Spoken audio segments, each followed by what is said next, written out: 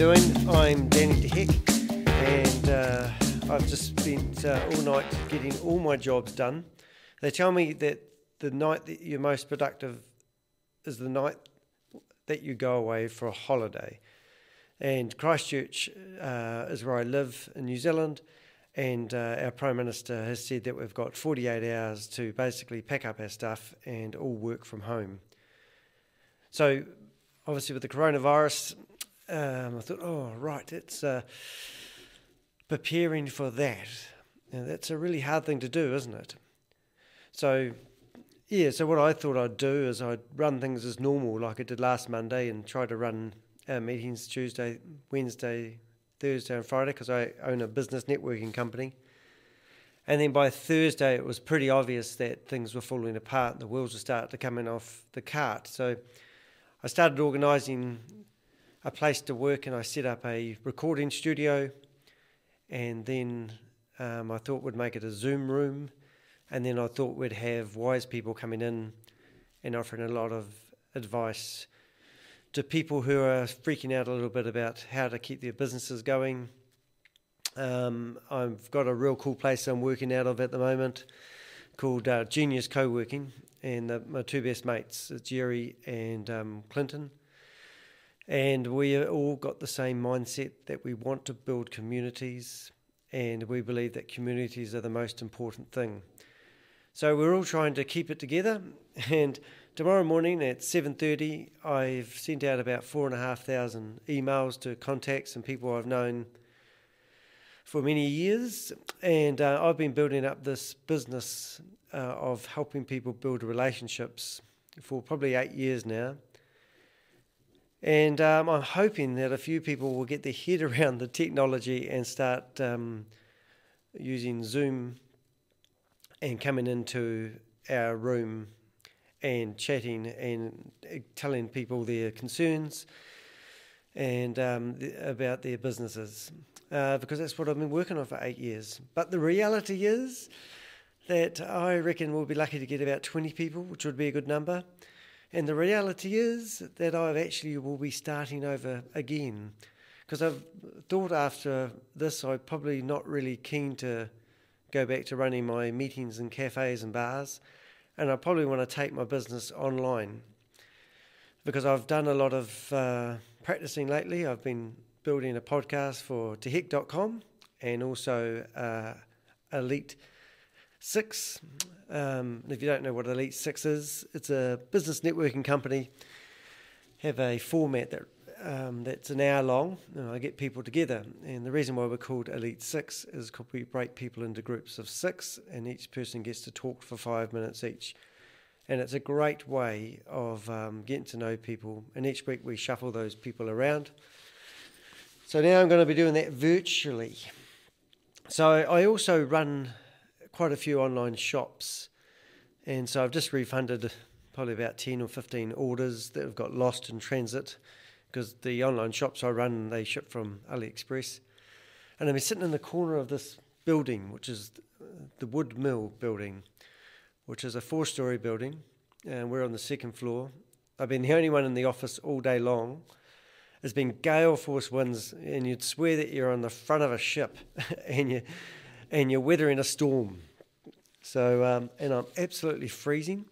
And I were going to sleep on the sofa, and I'm looking around now, and I'm thinking, now there's a sheepskin rug there I could wrap up myself up in. There's a whole lot of pillows which I could make the couch more desirable to lay on. Um, I haven't eaten either very much, so I did bring in some gluten-free Weet-Bix and some.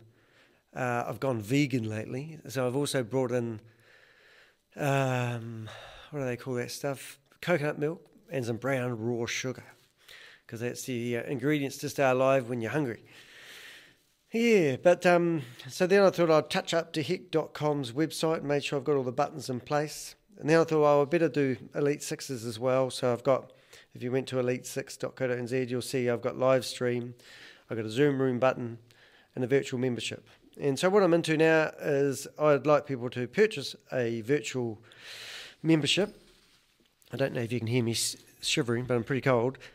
And the idea of that is if you want to um, participate in the Zoom meetings and be in the video, you can, but you need to be a, a member of Elite Six to do that. Or if you just like some good old fashioned advice and you'd like to be a spectator, that's what we've got the live stream for, which is broadcast onto uh, uh, YouTube. And then we're going to do Watch the Party. So we're going to put our, our YouTube feed into a link in Facebook called Watch the Party, and that will um, notify all our friends that something's going on to watch. So all that technology might sound easy peasy.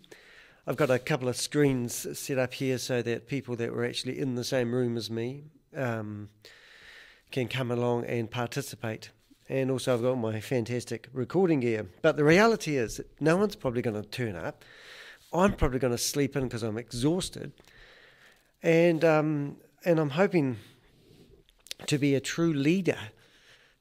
And that's something, you know, I've, a lot of people, I'm a facilitator and I'm a connector. So I, I've got lots of really cool people around me, so hopefully they'll be in in there having a chat tomorrow. So we'll be doing a live broadcast um, from seven thirty in the morning right through to um, ten thirty, or until everyone drops off, really. So it's quite exciting. But I can say with my hand on my heart that I have never had my websites looking so good. I've never had the ducks in a row in my business so good a few months ago, I had something like 800 transactions to reconcile in my Xero. and um, uh, basically every month. And I, I, I, wanted to get my head around doing my own bookkeeping because I've had uh, a bookkeeper that was in the dark ages using pen and paper for 20 years, and then I went digital. And then apparently I was too complicated for her, so she she didn't like me anymore and left. so then I said, "Well, stuff this." I'm not going to have a bookkeeper get stuck into me about my business. So I went and got some lessons from an accountant and got my head around um, Xero. And now I do my own. So when I do employ somebody um, to look after it again, um, I'll at least know if they're doing the job right and the way I want. So that's great. So anyway, I got rid of that problem. Um, we used to, we've got online shops and we'll sell anything up to 500 or 1,000 products uh, a month, and that's a, a transaction nightmare. So I've installed new software in there, so when people go to the chat window, they can ask a question, and as long as it's in our knowledge base, it will automatically throw them. Is this the answer you're looking for? and it's cut down our inquiry. So I've been so busy, um, I haven't had a chance to process orders. It's, I'm seven days behind, so I caught up with that tonight. I also went into our new real time answering system that um, takes away our email hassles and um, and answered the only had well, I think I only had something like 20 I had 55 in there and I think I've still got 10 but they're not mine because my partner has a shop as well. So I've actually managed to catch up 100% I've gone into my bank accounts uh, paid all my bills. I've got uh, uh, my PayPal account empty now, and after I refunded all the people, and um, I'm ready to start over. And I reckon I'm the king of starting over. I, used to be a Jehovah's Witness, and I got kicked out of the religion when I was 23, which means I had to start over with no friends at all. And I remember hitchhiking around New Zealand telling people I was a mobile internet consultant and charging them $300 to set up a website and $30 a month to keep it online. And it took me a few years, but I built up a business that um, used to turn over half a million dollars a year um, just from New Zealand's information network. It was really cool. And it was just because I had to start over. So I thought, what do I like doing? And then um, yeah, basically invested uh, a little bit of money into um, building up a couple of apartments in town, sold those, and went and lived in the country and worked off a satellite dish with my wife at the time. And uh, we had a purpose built house in the country. And then um, uh, wife wanted a divorce. And 24 hours after that happened, uh, I had these pains in my stomach, and I went to the doctor and said, "Look, uh, oh, my wife wants a divorce." And he said, "Oh, I thought you guys were the best thing since sliced bread." And I said, "Yeah, well, I did too." And I said, "But uh, I physically feel terrible." And he felt around my stomach, and he said, "Oh, you're all right." He gave me a couple of depositories and said, "Go home and and take those." And I went, "Okay." And um, yeah, and 24 hours later, I'm in an ambulance, um, and I've, what I had is a burst appendix and then I got a bad infection. I spent two weeks in hospital, literally fighting for my life. But yeah, what happens then is your priorities change, and it wasn't about my business; it was about the people that come to visit me. And it's, it's such a privilege to have people in your life that really care about you. So after I got out of hospital, and this is when I was 40, I'm now 50, I was incredibly lonely and I lost all our couple friends as you do when you go through a divorce, and and I had to start over. So I got myself a, an apartment in Rangiora, and it was ten metres away from a railway line. And I remember at four o'clock in the morning that um, you'd hear the trains going past, and it was just a horrific sound.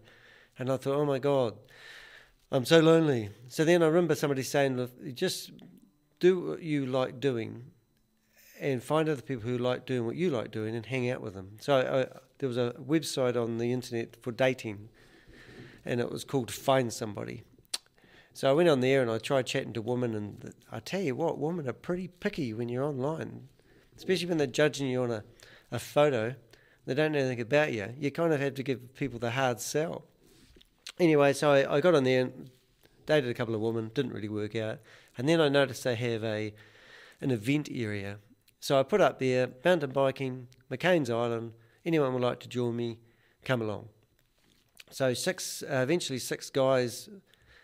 We, we were going mountain bike every Saturday, and then I met this lady, and I said, "Look, um, why don't you come along and um, go walking while we uh, go for a mountain bike and meet back afterwards for a cup of coffee?" And she said, "What, walking by myself?" I said, "Yeah." I said, "Well, why don't you take my dog?" And then I thought about it and I thought I might change the event to a mountain biking and dog walking event. And then what did we have? We had 10 people turn up with their dogs. And they're all ladies. So the men who went cycling, the ladies went walking with their dogs. And it was great. And then I said, Well, what are you guys doing later on? And I said, What do you mean? I said, Well, I, I don't mind hosting a, um, a potluck dinner if you like.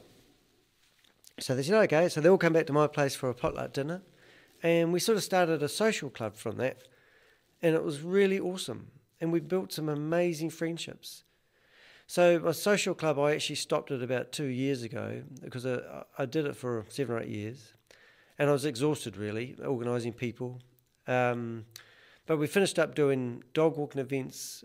Um, the best ones we did was really the hiking events. And I'm really proud to say that I managed to get about 500 people together and we would do 11 big walks each year. And then people would say, oh, oh, I don't know if I'm as fit as you guys, I can't come on those walks. So in between the big walks, every fortnight, we'd do a smaller walk and we'd just literally get people out there getting fit. And um, it was great. And then some people, so we did dinners. Uh, we'd take, um, I think the most I ever had was about 50 people going out for dinner one night.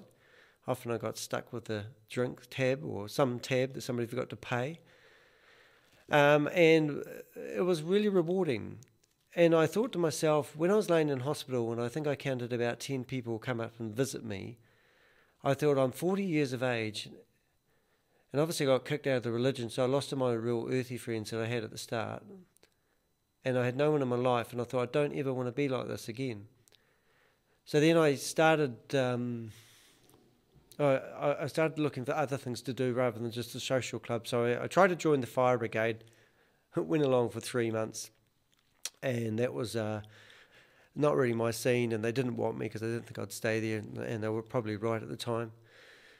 Not that I liked rejection. Um, I got involved in my, my sport, which was target shooting, and that was a great community. There's about 1,400, I think there was 1,800 when I started. It's a dying sport, but there's about 1,400 target shooters uh, in New Zealand, and I got involved in that sport. And that's a great way to get to know all the locals. Uh, I joined Rotary, that was pretty cool. Uh, and then I also joined Toastmasters, and I finished up um, going to Boaters Toastmasters in Christchurch, and that was pretty cool as well. And then I uh, finished up um, going to a lunchtime club and then a Tuesday club in the evening. So I went to a morning one, a lunchtime one, and um, yeah, an evening one. So, what did I go to Toastmasters? And what is Toastmasters? It's basically a place that helps you do public speaking. And also, you get to put together talks and you sort of get um, evaluations on how well you did. And you learn a lot of um, skills when public speaking, really. And it's brilliant. It's helped me a lot. And then I joined another organisation called National Speakers, um, which is an organisation that taught you how to groom yourself to be a paid speaker. Because I, I want to I wanted to talk about um, being dyslexic um, to schools. Um, but I remember being at Rotary one night and I'm sitting there with a lady who runs Rangiora High School. And she's, she asked me who I, what I did. And I said, Oh, I don't know how I got talking about it, but I said to her I didn't really like the education uh, system it never really helped me. I'm dyslexic, and, and it never really did anything for me at the time. I said, I've got no time for education. and then I said, uh, and what do you do? she said, I, I'm the, the principal of Rangiora High School. so I figured that I probably wouldn't be the right type of guy to do a talk about dyslexia to schools, because the first thing I'd tell them is as soon as you thought you could leave school, do so, and education isn't the most important thing in the world. However, if you were doing an operation on me, boy, my job, you better be good at educated at doing that. Yeah, so that's sort of my story. So um, when Elite Six come along, somebody said, um, "You're doing all these events. You're quite involved in the community." And I went along to BNI in Rangiora, and that was the first time I did any business networking. And then a guy I met at the pub because I used to go to oh, what's it called, DJ, AJ's. DJ, oh, I've got what was called a bar in Rangiora. I used to look at all the people drinking and think, oh my goodness, hope I'm not like them. And I used to go to this bar all the time, and I remember meeting this guy Barry, and Barry Nicole it was, and he said, "Oh look, um, they're starting up a new business networking group in Rangiora. Would I like to come along?" So I did, and I went along for about a year.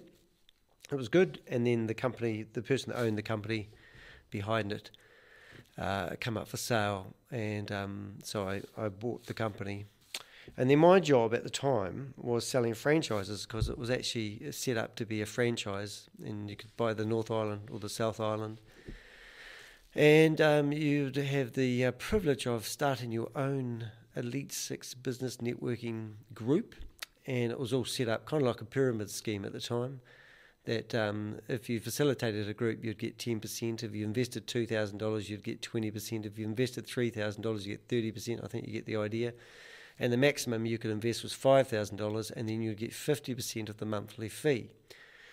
So it sounded really cool and all that, but then um, it was quite a hard thing to sell. And then I realised after I purchased the company, it had such a big history, and he, the guy that owned it um, wasn't really, shouldn't have been in the public uh, relations or the relationship uh, business because he had ticked off a lot of people. And so after I bought the company, I'm finding these people in the, um, well, I had a lot of documents, and I'm ringing up these people going, oh, hi, um, you know, who are you, and what role did you play with Elite Six, and all sorts of terrible things. So I had a company that had a bad name, so I had to, to um, really sort of start from scratch. So eventually, long story short, we did have about 14 meetings going. We had 12 facilitators.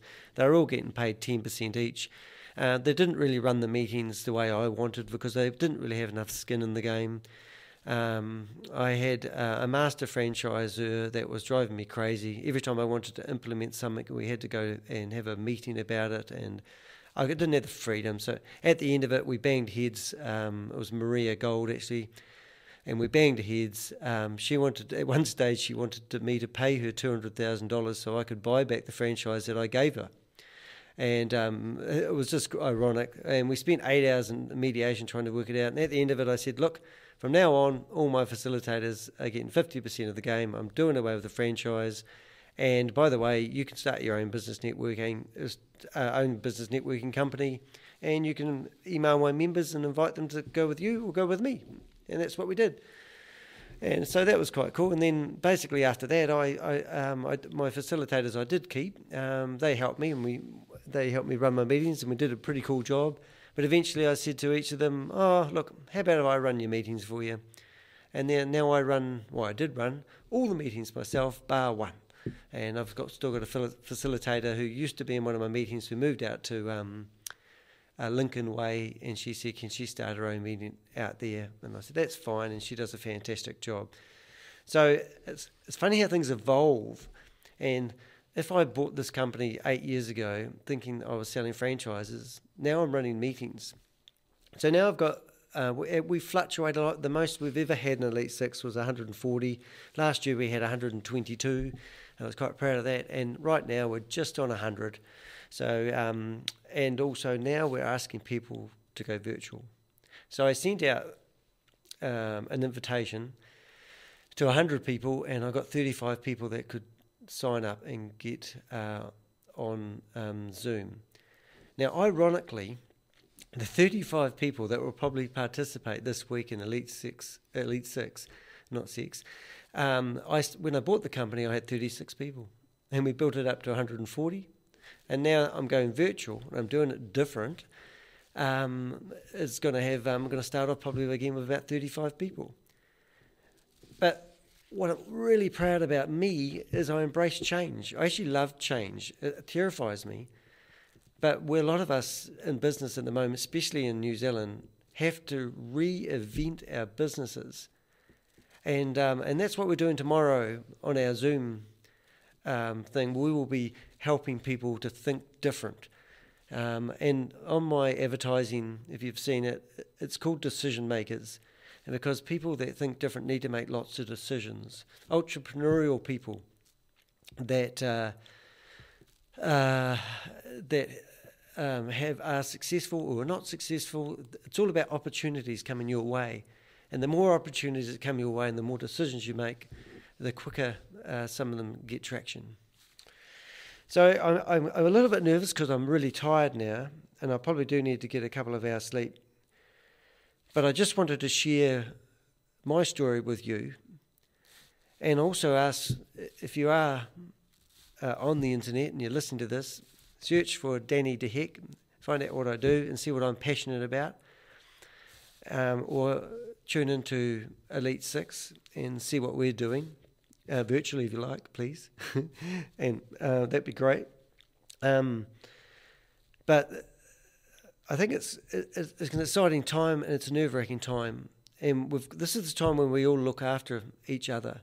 I said to my mates, I said we're all going to be in the same boats. This could be a sort of an equalizer for a lot of wealthy people who, I mean, if you're banking your money and you're thinking money's going to get you through this, uh, this is going to take uh, the economy is going to get a hit and I tell you what, I, I reckon week one, week two, week three, week four will be game changers.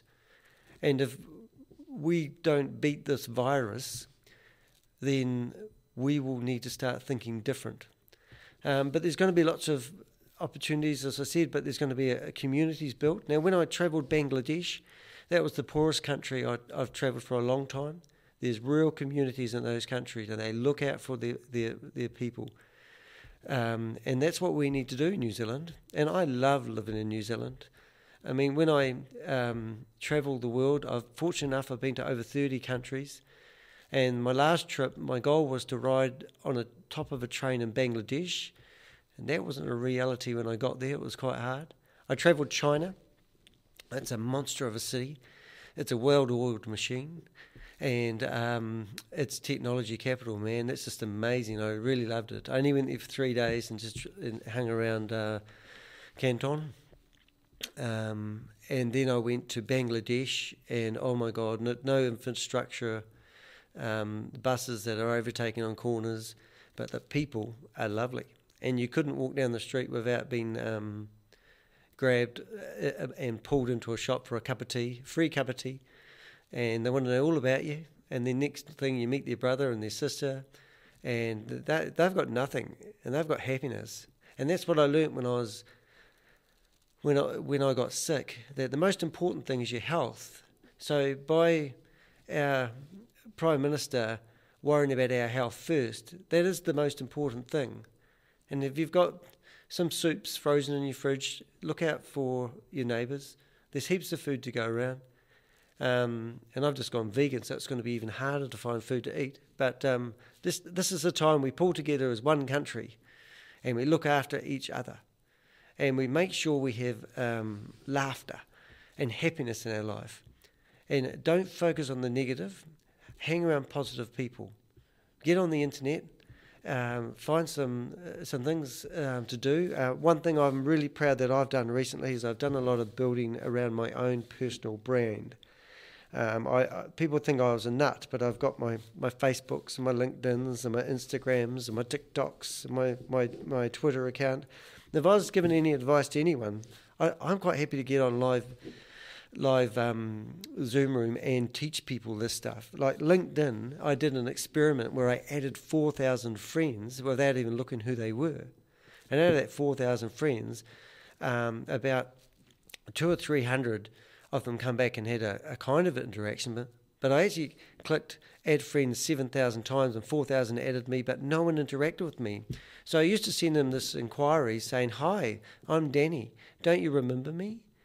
We met in the first Mars colony. My parents used to own the Yardis Space Theatre, and we used to play Earth movies on Saturday afternoon. It's so nice to be able to reconnect with you. And I sent that message off to about 4,000 people and I'd got some funny conversations going. But my point was, a lot of people use social media and they don't really sit there and use it. It's a minority. So if you want to get the best out of uh, social media, I probably wouldn't focus on LinkedIn too much, but try interacting with people. Try listening to what people are saying. Try not to plug your message. Try to draw them out. Now, I did a Dale Carnegie, I can't even say it, course. I got gifted it by one of our members. It's a $3,000 course. And, and it taught, I always, always did it, but it always taught me if, you, if you're talking to somebody, people love it. And if you draw them out by asking meaningful questions and show sincere, genuine uh, interest in other people, you will, um, that person will go away saying, "Oh, they were really nice. I really enjoyed talking to those people," not really realizing that they were doing all the talking, but you were drawing them out because people like talking. Um, so here's an opportunity to build some, do some personal development. Uh, I've got quite a few audio books I listen to. Um, one of them's Flip It, um, and you'll find it. It's a blue covered book. Um, Cameron, I think it is. He's wrote it, and he's talking about every everything that's negative. Flip it around the other way. Um, eat, that frog uh, is a really good one. I'm just going to have a look at my iPad while I'm talking and talk about some of the books I recommend that you read. Um, let's see what we've got. Um, yeah, Flip It by Michael um, Hempseed, I think it is. Oh, now Zig Ziglar. Now get his books, man. He's really cool. Um, he's got a screechy voice, and if you listen to him in the car, it probably drive you crazy. Um, but they're really good stuff, you know, because he's way back. But no, he's got some really cool stuff. And the other one I really liked was Be More Pirate. Oh, that would be the book at the top of my list. And it talked about all these people who were disruptors in, in the industries, like Pirate Bay. And then uh, iTunes was modelled after them. And now look at iTunes. It was a massive. I think they said that they uh, were hoping to sell a million, uh, have a million dollars worth sold in the first six months, and they finished up doing six million in the first month or something like that. Yeah, but there's some of the books I've got. My, my reading list isn't really there. Oh, yes, it is. Here it is. No, it's not. Yes, it is. No, um, but I have got quite a few. But maybe that can be a topical in itself when we're talking. Um, I'm not a stranger. You just need to um, go to danny.co.nz, send me an email, and um, install Zoom, and I'm quite happy to have a chat. All right, so I've spent 29 minutes telling you about me and um, why I'm nervous about running my meeting tomorrow. Um, uh, tune in if you like, if I get this online in time. Um, but but definitely, definitely a game changer. Uh, what's happening, and I think uh, there's opportunities out there. All of New Zealand is basically going to have a four-week holiday at home and um, we can go for a bike ride, we can go for a run, Um, but if we want to beat this this virus, then we need to listen to the professionals, the ones that have been researching all this sort of stuff. And we get to be entertained with Netflix. It's not that bad. And uh, be safe, be true to others, and speak nicely, have empathy, and try to be a good person or work on your personal development. Um, and then we'll be able to tell our kids um, a bit of history we haven't had an experience like World War One and World War Two, have we? Or depression. We've been pretty fortunate, really. So this is our opportunity to uh, maybe um, shine and be be true to ourselves. All right, and I'll leave you with one of my personal uh, quotes that is actually mine. Market what you do, not who you are. This is Danny de Hek, and uh, I'm signing off. Thanks for listening.